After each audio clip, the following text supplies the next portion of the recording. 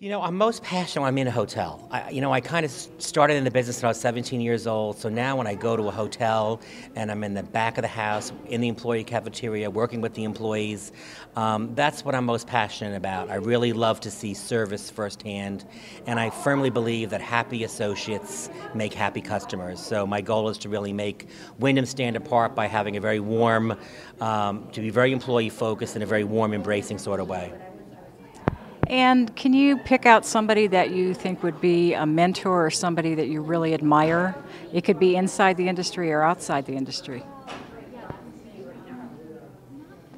You know, kind of a mentor, it's very interesting. Um, a gentleman I worked a long time ago, early in my career at Omni Hotels. He's now the president of a company in Dallas called Culinaire. They're a food and beverage company. His name is Bill Thompson, and he really, uh, I think, was a mentor of mine because he always, you know, we talked about the trilogy where you really have to make sure the employee's happy, the guest is happy, and the owner happy. So that always sticks in my mind. The trilogy of owner employee and customer. So uh, he always sticks out in my mind.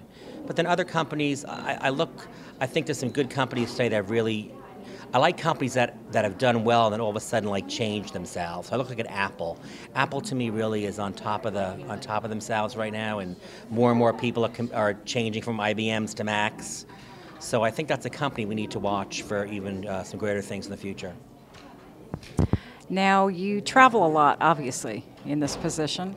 Do you have a favorite travel spot, city, country that you could tell us about?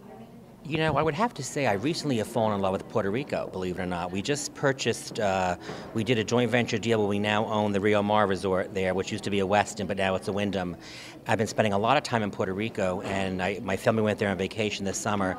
And the people who work there and the employees, they're so warm and hospitable. And then I love the mountains of the rainforest and then the sea. So I've just really, lately, Puerto Rico's top on my list. It's interesting. Now, uh, what do you what do you think you bring from a personal standpoint to the group?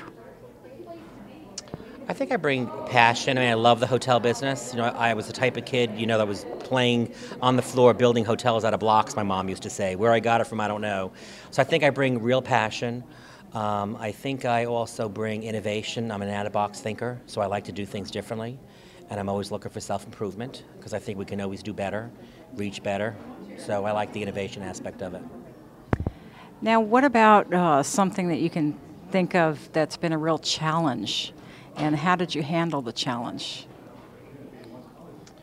I think the challenge today really is the industry has changed. It's a lot. I, I really call a lot of it the real estate business.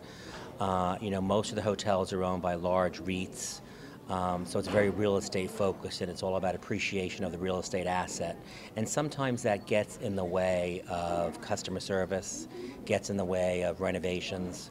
So uh, that's kind of made the industry a little bit different. And, and people also have more of a shorter term mentality where years ago somebody would own a hotel forever. And nowadays you'll see a, a group buy the hotel and two or three years later they sell the hotel and uh, owner changes are difficult on a hotel. I mean, perfect example is this hotel here. It's a Hyatt this year. I think a year ago it was a Westin. Um, so, you know, and it, it's obviously had an ownership change. So um, that's a little bit challenging. How I deal with that?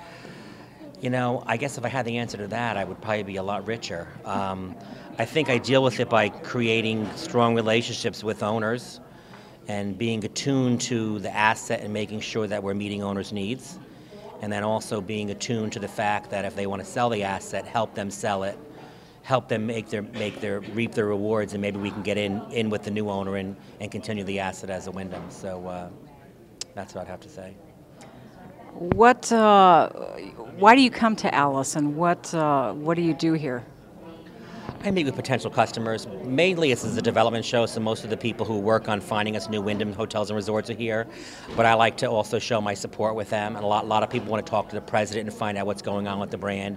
So it's really a sales job. Mm-hmm. We just met with a, a, a company who's doing a brand new hotel outside of Chicago, and they're interested in talking to us at Wyndham. We have a meeting in about 15 minutes with another company that's looking at building some new hotels and resorts, and they're looking at Wyndham. So it's really a sales job, and I like doing that also because I love to talk about the brand and, and, and, and what we can do for them.